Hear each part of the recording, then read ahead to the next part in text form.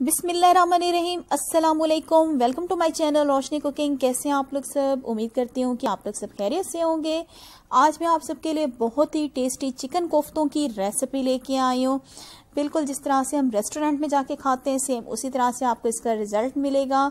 तो video start करने से पहले अगर आप लोगों ने मेरा चैनल सब्सक्राइब नहीं किया, चैनल को सब्सक्राइब कर लें। अगर वीडियो अच्छी लगे तो वीडियो को लाइक करना मत भूलिएगा। तो चलें, बनाना स्टार्ट करते हैं चिकन के बहुत ही मज़ेदार कोफ्ते बनाना। कोफ्ते बनाने के लिए जो आपको चीज़ें चाहिए होंगी नोट डाउन कर लें। चिकन का कीमा आपको चाहिए होगा, आधा किलो। कीमा जो है वो मैंने बारीक वाला लिया हुआ है। हरा धनिया आपको कटा हुआ चाहिए होगा हाफ़ कप तीन हरी मिर्चें ले ली, उसको बारीक बारीक कट कर लिया मैंने। एक अंडा चाहिए होगा आपको। अदरक लहसुन का पेस्ट वन टेबल स्पून लाल मिर्च का पाउडर मैंने ले लिया one and half teaspoon कुटी हुई लाल मिर्च आपको चाहिए होगी हाफ़ टी स्पून हल्दी मैंने ले लिया one and half teaspoon धनिया पाउडर आपको चाहिए होगा वन टेबल स्पून गर्म मसाला पाउडर वन टी स्पून नमक मैंने ले लिया one and half teaspoon सबसे पहले एक बाउल आपको चाहिए होगा, उसके अंदर हम ऐड करेंगे चिकन का कीमा. और इसके अंदर मैं अब ऐड करूँगी एक अंडा. अंडा डालने से क्या होगा कि आपके कोफ्ते जो हैं वो टूटेंगे नहीं। और अंडे को हमने कर देना है कीमे के अंदर अच्छी तरह से मिक्स।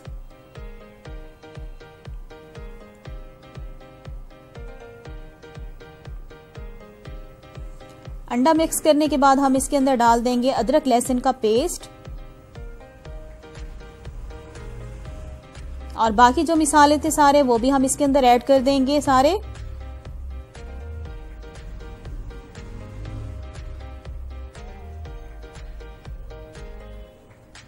हरी मिर्चें जाएँगी इसके अंदर।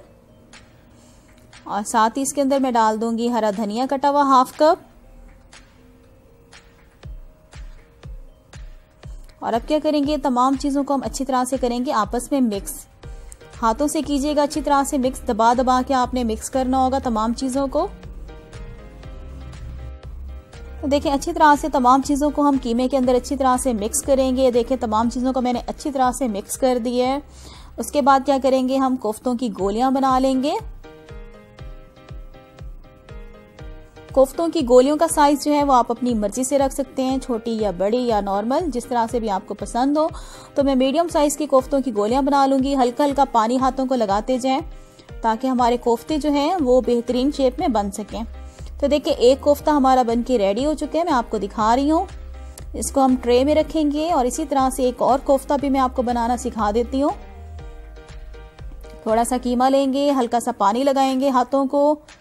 और इस तरह से राउंड शेप में आपने कोफ्ते जो हैं वो तमाम रेडी कर लेने हैं। तो ये देखें, इसी तरह से मैं तमाम कोफ्ते जो है वो रेडी कर लेती हूँ। तो देखिए, आधा किलो कीमे से टोटल हमारे 21 जो है कोफ्ते बन के रेडी हो चुके हैं। आप इसी स्टेज पे कोफ्तों को सेव भी कर सकते हैं फ्रीज़र में। एयर टाइट बॉक्स में आप इसको भर के फ्रीज़र में सेव कर लें। जब आपका दिल चाहे, आप इसको निकाल के अपना कोफ्तों का सालन जो है वो रेडी कर सकते हैं। और अब क्या करते हैं, हम कोफ्तों की ग्रेवी रेडी कर लेते हैं। कोफ्तों की ग्रेवी बनाने के लिए जो आपको चीज़ें चाहिए होंगी, नोट डाउन कर लें। वन टी मैंने ले लिए ज़ीरा।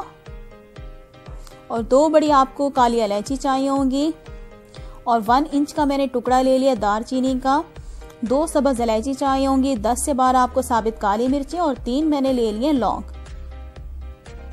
अदरक लहसुन का पेस्ट मैंने ले लिया टू टेबल स्पून प्याज का पेस्ट आपको चाहिए होगा, तकरीबन मैंने ले लिया हाफ़ कप प्याज को लेके आपने जूसर में उसको पीस लेना है। टमाटरों का पेस्ट आपको चाहिए होगा हाफ़ कप चार बड़े साइज़ के टमाटर ले लिए थे और उनको मैंने जूसर में ब्लेंड कर लिया था।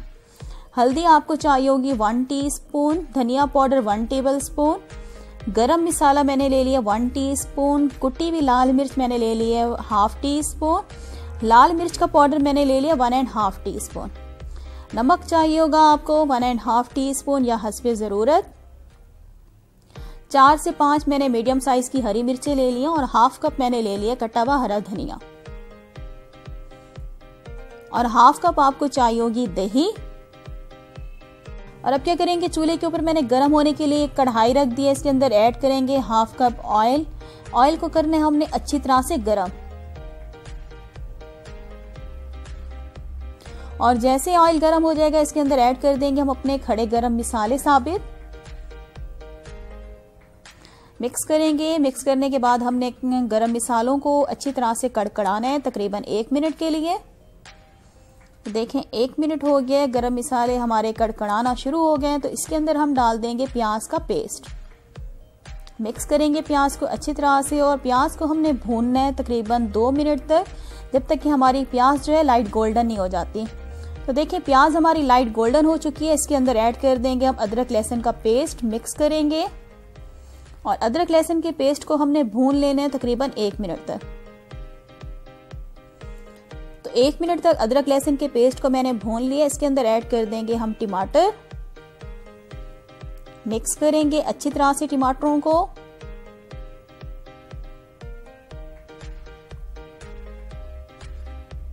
मिक्स करने के बाद हम इसके अंदर डाल देंगे मिसाले अपने। कुटी हुई लाल मिर्च और लाल मिर्च का पाउडर ऐड कर दिया है। धनिया पाउडर इसमें चला गया है, हल्दी चली गई है और इसको हमने करने अच्छी तरह से मिक्स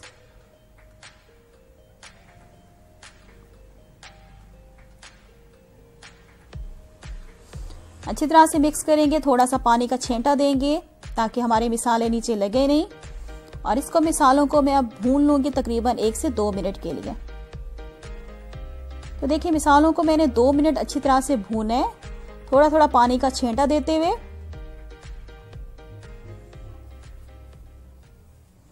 तो हमारे मिसाले जो हैं अच्छी तरह से भुन चुके हैं, और अब क्या करेंगे, इसके अंदर जो साबित गरम मिसाले थे बड़ी काली इलायची मैंने इसमें से निकाल ली है और जो दालचीनी स्टिक थी वो भी मैंने इसमें से निकाल लिया सिर्फ़ दो चीज़ें मैंने इसमें से निकाली है। ये देखें, इनको हम निकाल के बाहर ज़ाया कर देंगे। और अब क्या करेंगे, मैं इसके अंदर ऐड करूँगी नमक।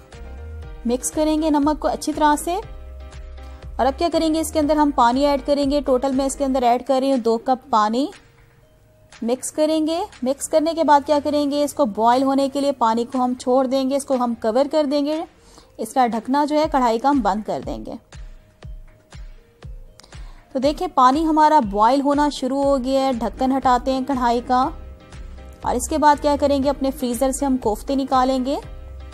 ये हमारे सेट हो चुके हैं, थोड़े हार्ड हो चुके हैं। और अब क्या करेंगे? तमाम कोफ्तों को हम डाल देंगे अपना ग्रेवी के अंदर।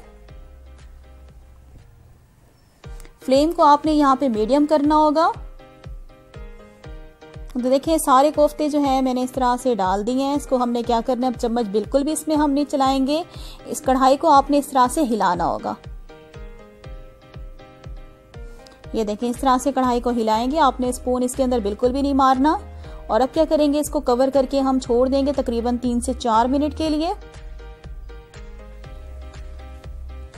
तीन से चार मिनट के बाद कढ़ाई का ढक्कन हटाएँगे। दोबारा से हमने इस तरह से कढ़ाई को हिलाना होगा।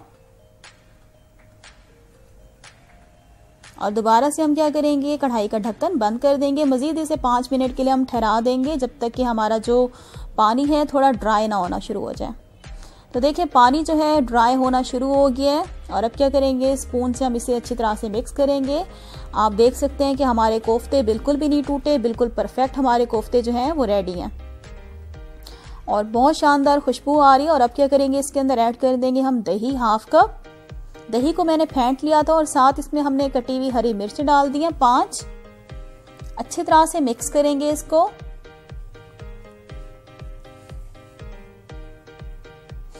मिक्स करने के बाद मैं क्या करूँगी? इसे कवर करके छोड़ दूँगी जब तक कि दही जो है हमारी अच्छी तरह से भुन नहीं जाती और ऑयल जो है वो अलग नहीं हो जाता। पाँच मिनट के बाद कढ़ाई का ढक्कन हटाते हैं। आप देख सकते हैं ऑयल अलग हो चुका है, दही हमारी भुन चुकी है और बहुत शानदार खुशबू आ रही है कोफ्तों में से।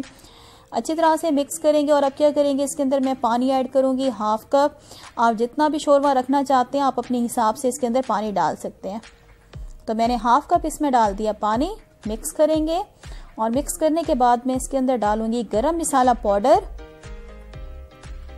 और साथ ही इसके अंदर मैं ऐड कर दूँगी हरा धनिया कटा हुआ, इसे मिक्स करेंगे और मिक्स करने के बाद हम इसे दम वाली फ्लेम पे छोड़ देंगे पाँच मिनट के लिए। उसके बाद हमारे कोफ्ते जो हैं बन के रेडी हो जाएँगे। तो कढ़ाई का ढक्कन बंद कर देती हूँ और इसे दम वाली फ्लेम पे मैं ठहरा दूँगी तकरीबन पाँच मिनट के लिए। पाँच मिनट के बाद कढ़ाई का ढक्कन हटाते हैं तो हमारे शानदार से, मज़ेदार से कोफ्ते जो हैं चिकन के बन के रेडी हो चुके हैं। इतनी ज़बरदस्त खुशबू आ रही है, मैं आपको बता नहीं सकती। बहुत मज़ेदार ये कोफ्ते बन के रेडी होते हैं। तो ये देखिए, कोफ्तों को मैंने डिश आउट कर लिया। आप देख सकते हैं, कोफ्तों की शक्ल से अंदाज़ा लगा सकते होंगे कि ये बहुत ज़्यादा मज़ेदार बने हुए हैं।